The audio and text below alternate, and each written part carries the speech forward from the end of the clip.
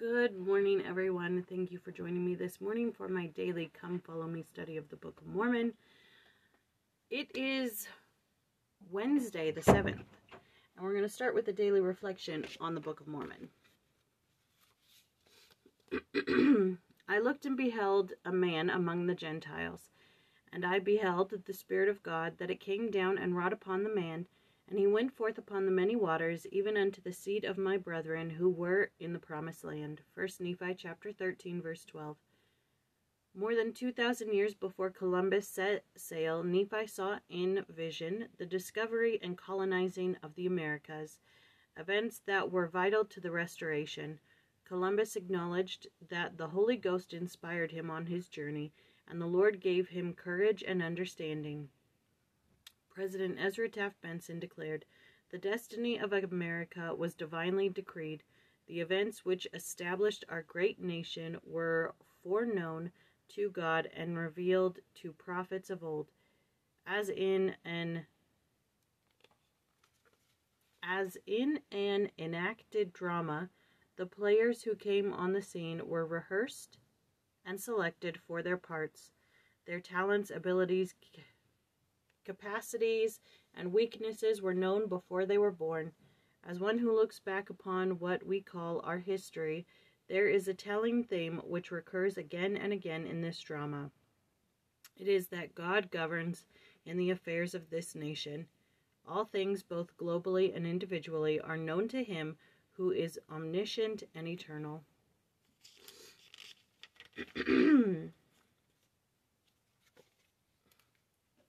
a very comforting thought in uh, in a political year. Okay, today is our general conference talk for charity, and what I did, I know that the you regulars know this, but what I did was I just went into the Gospel Library app. I went to general conference portion. I typed in charity and I selected three talks that were in that section. I didn't read them beforehand. I just chose them um, usually on the four years. So 2014, 2004, 1994, 1984, 1974, if there were ones from those years. So that's what I chose. Today's talk is More Holiness Give Me by Bishop H. David Burton and he begins to talk about financial more. He he talks about um,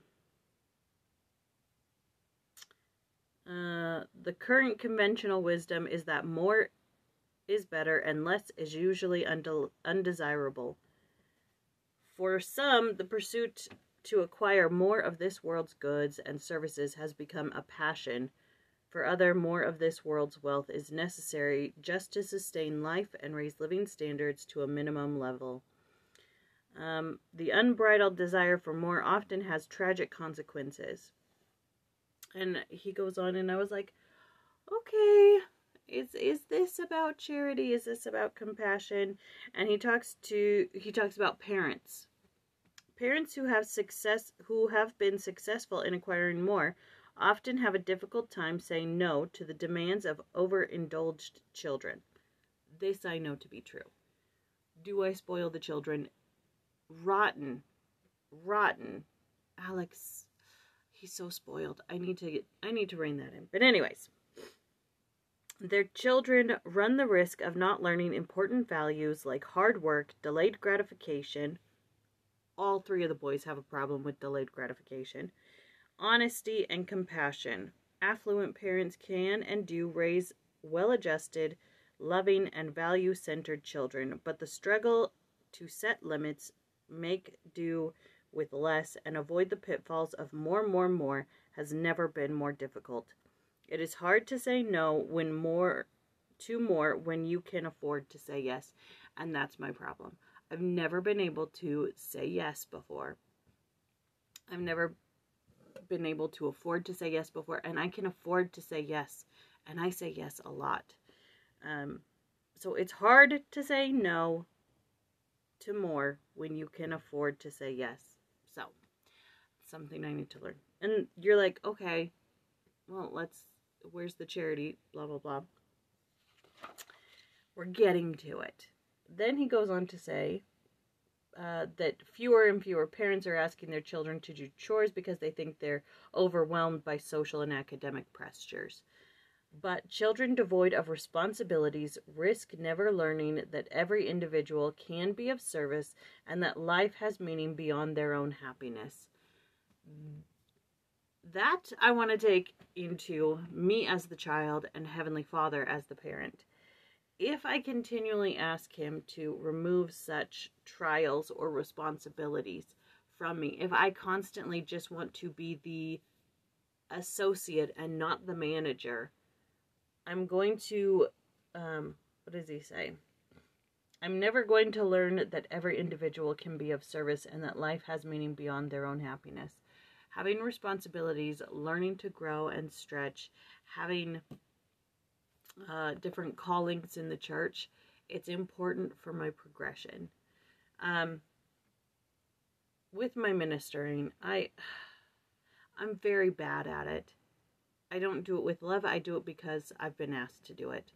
That's like, and I'll shoot them a text, I'll send them a letter. It's very, I try to put my heart behind it, but like, I have no desire to become friends with these people. I don't want to go to their house and visit with them. It's so awkward for me. If anybody came here and tried to visit with me as my ministering sister, I'd be like, "Can you just go?" Like I I'm is antisocial the right word? I I don't want to I never liked it when people came to the house. Even when I was in the single singles ward. I never liked it when people came to my house to visit with me. And it felt so contrived or I I I don't like that thought. I don't it doesn't come naturally to me. And maybe that's what this charity and compassion thing is going to do for me is that I'm going to want to talk to people. I don't know. I just don't like it.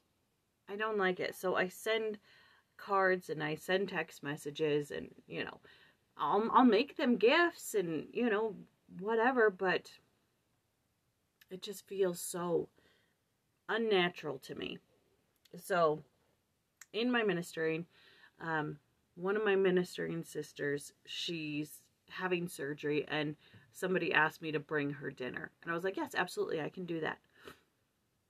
Um, but it feels like a chore.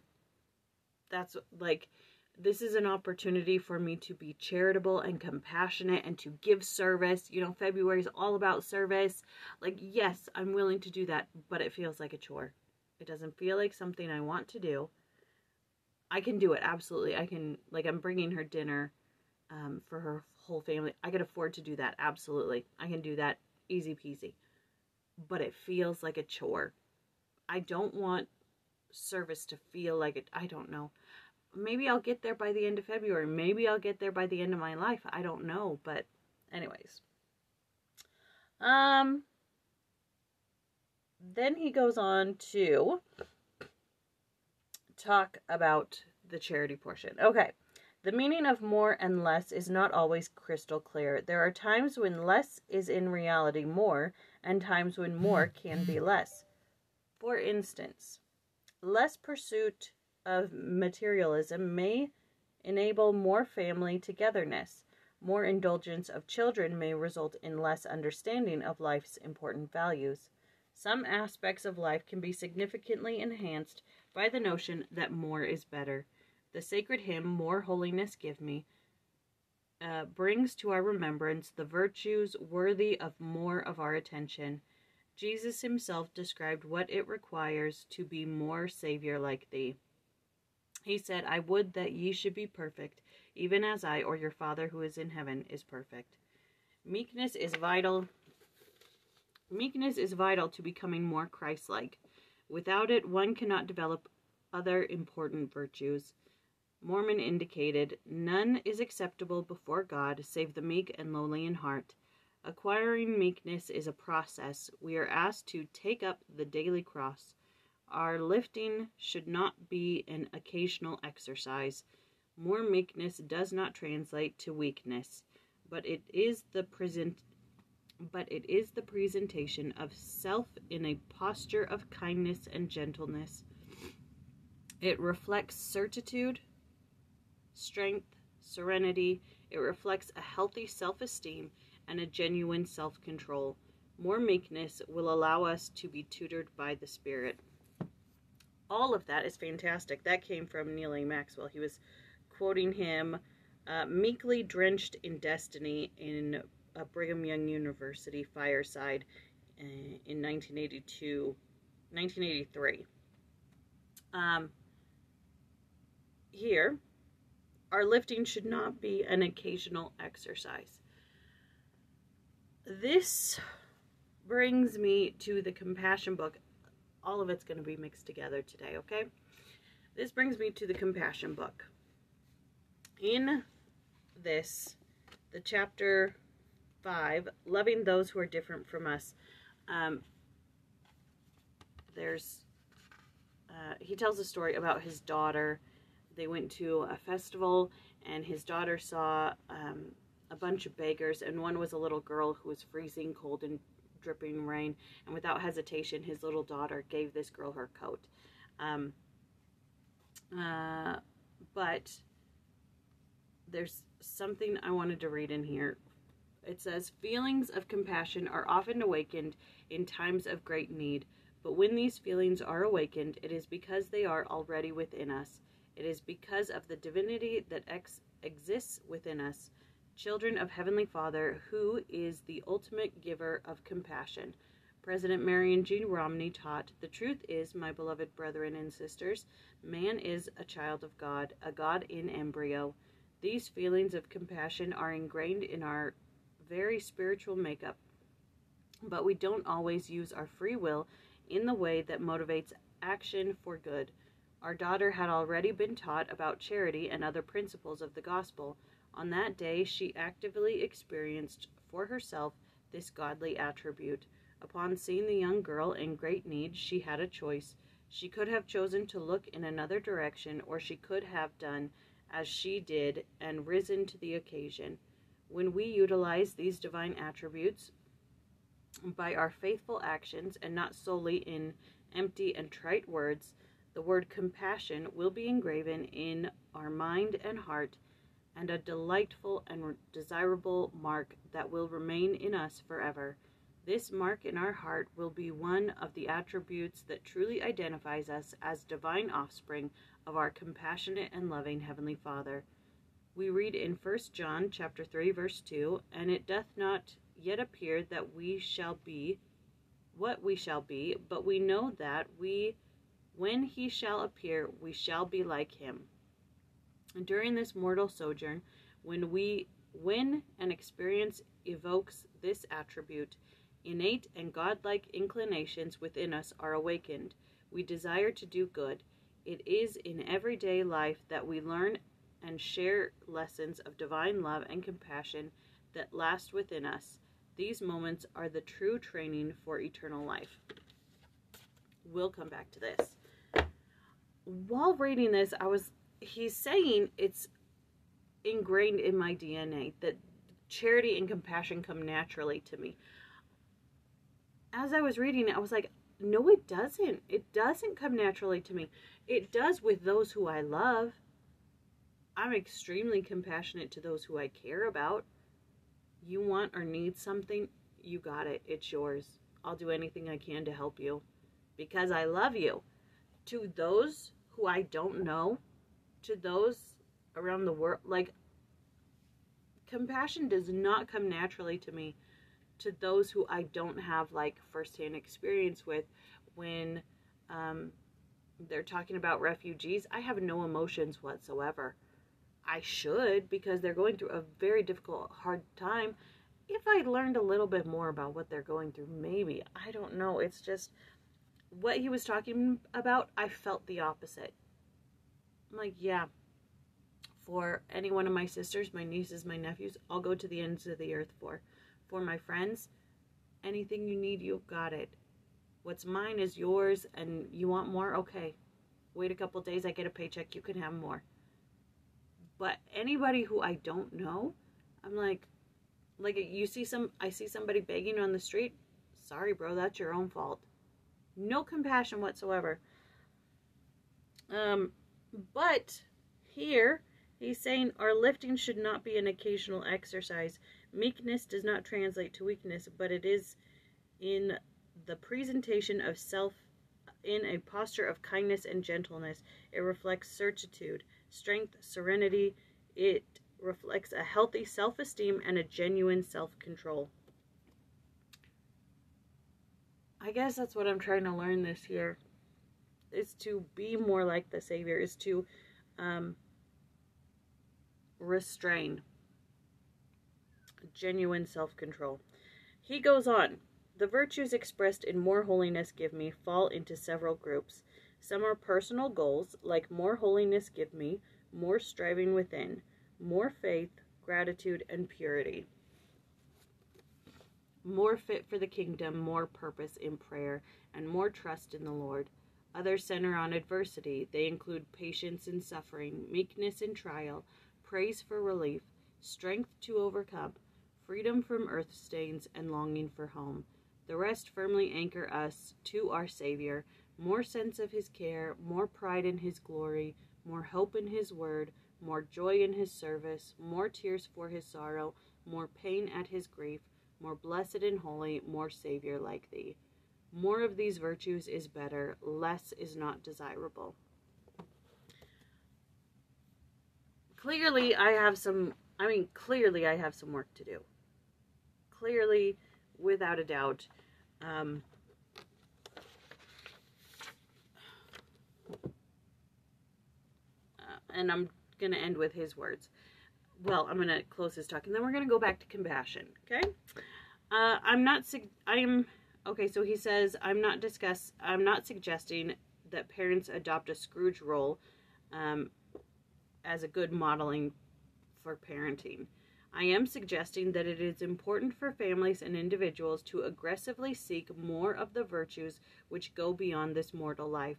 A prayerful, conservative approach is the key to successfully living in an affluent society and building the qualities that come from waiting, sharing, saving, working hard, and making do with what we have. May we be blessed with the desire and the ability to understand when more is really less and when more is better. Um, aggressively seek more of the virtues. Clearly, I need to be more aggressive. So, at work, I'm noticing the instances. In the in the morning when I wake up, I pray that Heavenly Father will take me by the hand and show me instances where compassion is needed, to teach me compassion, to uh, help me love my fellow men. I I envision Him holding me by the hand and walking me through my day. That's what I'm praying for every morning. And at work, it is so, so hard. It is so hard. Yesterday, especially, lots of stress coming at me because of like two different claims that's going on. And when people have a problem with a package, they get aggressive.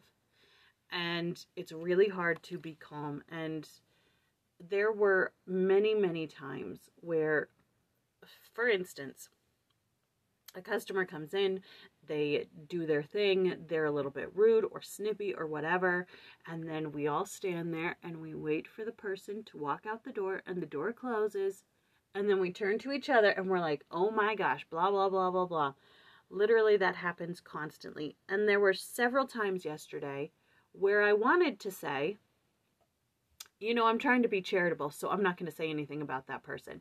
I want those words wanted to come out of my mouth so many times, but I held it in because Heavenly Father was there. He was holding my hand and he was like, Charity is not saying that you wanted to say something. Just hold your tongue. That's charity. So like work is making it difficult. It's a it feels like it's a natural desire. It feels like it's ingrained in my DNA to not be compassionate. And we're going to carry on in the compassion book. Um when we choose oh and then he goes on to forgiveness. Um, he talks about how forgiveness is an act of compassion. Um, we learn through the scriptures that the Savior taught about forgi- what the Savior taught about forgiving, forgiving, that we are required to forgive all men. When we choose not to forgive others, we become chained by bitterness and anger. This is a heavy burden on us, and it may cause us to lose the influence of the Spirit in our lives. We cannot repent for the mistakes other people make, but we can forgive them. In so doing, we can free ourselves of being someone's judge. We surrender to the Lord and we stop carrying this heavy burden ourselves. Nurturing negative feelings in our hearts is a roadblock to healing and ultimately to happiness. If we let these feelings go, the Savior can heal our hearts and can help us feel joy once again. The imagery here of when we choose to forgive someone then we free ourselves of a heavy burden is kind of remarkable. When you carry around hurt feelings and okay.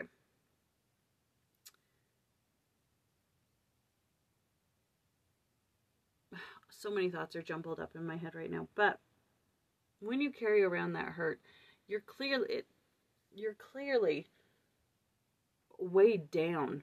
You're not light. You don't feel joy. You're not happy. I think we've all experienced that. The Savior gave his life to separate us from our sins, giving us the power to turn away from our iniquities. In Moroni 10:8, it is recorded that we should not deny the gifts of God. When we choose not to forgive, in a sense, we are denying one of the most precious gifts of God, the gift of the Savior's atonement let's let's live our life with real and focused intent. This is an important character trait for the great achievers in life. They keep persisting in the right direction no matter the pressure or circumstance or distraction. This bit was very important to me last night as I was reading this. Uh, live our life with real and focused intent. My life is has been very passive. I just let whatever comes and I'll handle it in the moment and I have no plans for the future and you know what it what will be will be. I not laissez-faire, but it's like I can't control everything and so Heavenly Father's going to do what Heavenly Father's going to do, so why not just like live my life type thing, right? Just let the chips fall where they may, and then so on and so forth. But that has led me to foster these sort of lazy characteristics of not actively being compassionate, of feeling like this divine characteristic that's ingrained in my DNA as a spirit daughter of Heavenly Father, that compassion doesn't come naturally to me um, I clearly I need to be more focused. I need to have real intent on choosing every day to develop these characteristics until they become natural to me. I've let this kind of passive sort of thing become my personality is that the right word? I don't know. But what I'm learning is that I've become lazy and not lazy in the sense that I don't work because I work very hard. Lazy in the sense that lazy in in lazy in my actions, lazy in my reactions, lazy in my Lazy and my Hannah? honey. I'm doing my video. She went to the storehouse. What is this? Anyways, honey, I'm not done with my video. You need to leave. Anyways, a lot of wake up calls. Um, that was More Holiness Give Me by uh, Bishop H. David Burton. No, honey, I'm doing my video. Can I you something? What? Hannah still has candy in her bag. Well, you can't have candy. Go back upstairs. Okay, so for the general conference study portion of the video, or what we're going to talk about, it was How Great Will Be Your Joy by Elder Ronald A. Rasband. And this was a call to senior missionaries. He was calling senior couples to, like, serve a mission. And I was, as I was listening, because it was last night before bed, and I was like, oh my goodness, I have so much reading to do before bed. Um, I, I was listening to it, and the whole time I'm like, this isn't for me. This isn't for me. And as I'm going back and reading these talks, I'm like, maybe this general conference wasn't for me. Maybe that's why I didn't get anything out of it. Was that maybe this general conference, October, wasn't for me. And that's okay. Um, next week, we're going to read Ulysses S. Soares, Brothers and Sisters in Christ. That's next week's. Okay. Let's end with Alexander. You're about to get into timeout. Do you understand? You're being ridiculous. Okay, let's leave with a read it, do it. Second Nephi chapter 1, verses 20 through 27. They highlight verse 21. At the end of his life, Lehi gives some last advice. Be determined, be of one mind and one heart. Put on the armor of righteousness, shake off the chains with which ye, you are bound.